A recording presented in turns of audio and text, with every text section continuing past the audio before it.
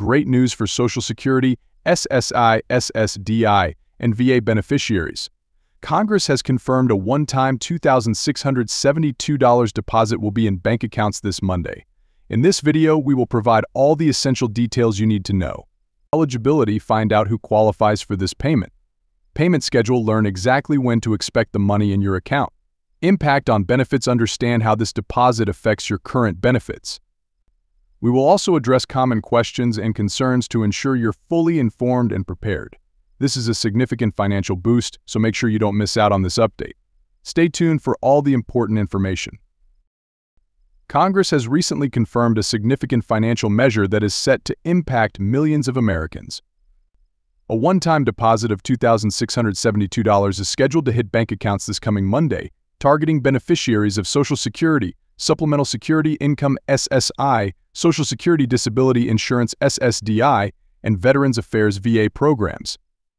This unexpected financial boost comes at a time when many Americans continue to face economic challenges, and it's particularly aimed at supporting some of the most vulnerable populations in our society. The announcement of this deposit is part of a broader context of government efforts to provide financial relief in response to ongoing economic pressures.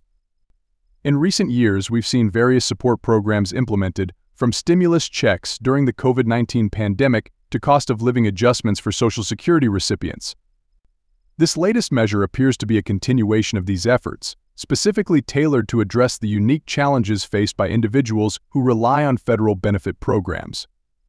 For such a deposit to be confirmed by Congress, it would have gone through a complex legislative process, likely as part of a larger bill or as standalone legislation focused on providing relief to specific beneficiary groups. The fact that it has been confirmed suggests it has successfully navigated this process, reflecting a recognition of the pressing needs of these beneficiary groups. Understanding who qualifies for this one-time deposit is crucial for potential recipients. While full details of eligibility may not be available, it's likely that current recipients of Social Security retirement benefits, SSI, SSDI, and various VA benefits will be included. Eligibility for each of these programs has its own criteria, ranging from age and disability status to service history for veterans, there may be additional criteria for this specific deposit, such as income thresholds or residency requirements, though these details await official confirmation. The amount of $2,672 is significant, especially for individuals and families who rely on fixed incomes. To put this into perspective, it represents about 1.4 times the average monthly Social Security retirement benefit, nearly three times the maximum federal SSI payment for an individual, and about 1.8 times the average monthly SSDI benefit. For Virginia beneficiaries, the impact varies widely depending on their specific benefits, but it represents a substantial boost for many. The distribution method, described as hitting banks this Monday, suggests that the deposit will be made electronically through direct deposit to the same accounts where beneficiaries normally receive their payments. This method offers advantages in terms of speed, security, and convenience. For those who typically receive paper checks, there may be alternative arrangements, such as the issuance of prepaid debit cards or the option to set up direct deposit for this payment. The potential impacts of this deposit on recipients are multifaceted. For many, it could provide immediate financial relief, allowing them to pay off outstanding bills, catch up on rent or mortgage payments, purchase necessary items, or build emergency savings. It could also open up opportunities for longer-term financial planning, such as investing in education or job training, making energy-efficient home improvements, or starting a small side business. Beyond the tangible financial benefits, this unexpected windfall could have positive psychological effects, reducing stress and anxiety about financial matters and improving overall well-being. However, the deposit may also present some challenges. For SSI recipients, in particular, a sudden increase in resources could potentially affect their eligibility for other means-tested programs, Recipients should also be aware of any potential tax implications, although one-time government payments are often not considered taxable income. Unfortunately, announcements of government payments can sometimes lead to an increase in scams targeting beneficiaries, so recipients should remain vigilant against fraud attempts. The distribution of this one-time deposit to millions of beneficiaries can have broader economic implications beyond the individual impact on recipients. It could have a stimulative effect on the economy, increasing consumer spending and potentially supporting job creation through the multiplier effect. Certain sectors, such as retail, healthcare, and home improvement, may see more significant impacts. However, there may also be concerns about potential inflationary pressure, especially if this deposit is part of a broader trend of increased government spending. For eligible beneficiaries preparing to receive this deposit, there are several steps to take. It's important to verify that the bank account information on file with the relevant agency is current and correct. Recipients should monitor their accounts closely on the scheduled day of deposit and be prepared for potential delays. Planning for the usage of these funds before they arrive can help ensure they're used in ways that provide the most benefit. It's also crucial to be aware of any implications for other benefits, particularly for SSI recipients who need to consider resource limits.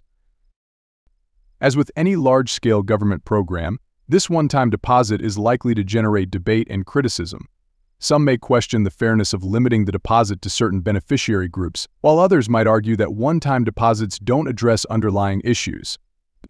There may be concerns about potential inflationary effects or questions about fiscal responsibility given the size of the expenditure. The eligibility criteria and the precedent this deposit sets for future support programs are also likely to be topics of discussion. Looking ahead, the implementation of this one-time deposit could have significant implications for how support programs are designed and delivered in the future. It may set a precedent for future targeted relief efforts and provide valuable data on the impact of direct cash transfers to specific populations.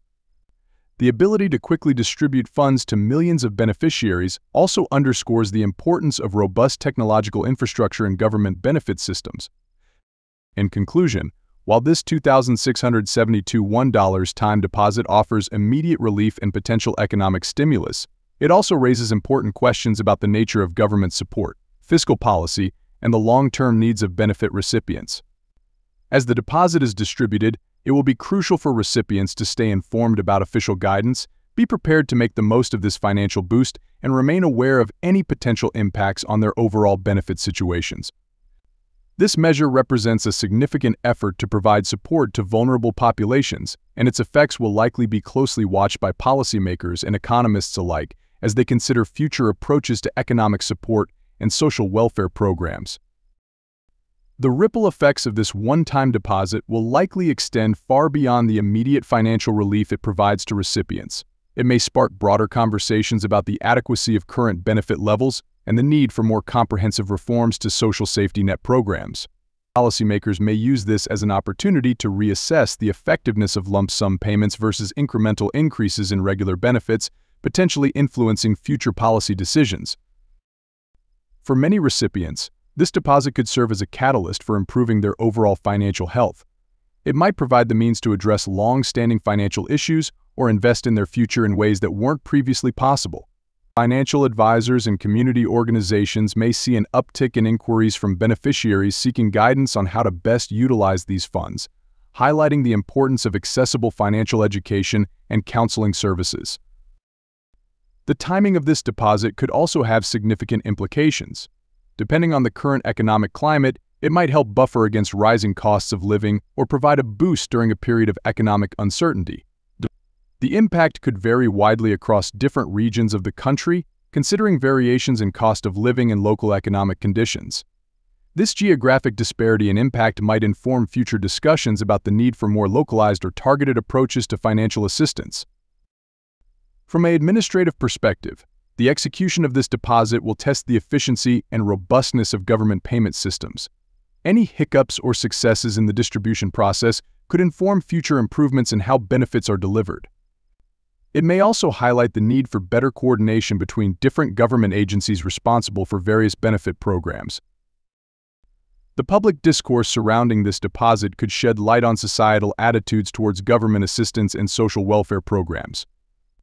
It may reignite debates about the role of government in providing financial support to citizens, the balance between targeted and universal benefits, and the most effective ways to address poverty and economic inequality. For researchers and economists, this deposit provides a unique opportunity to study the effects of a substantial, one-time cash infusion on a specific population.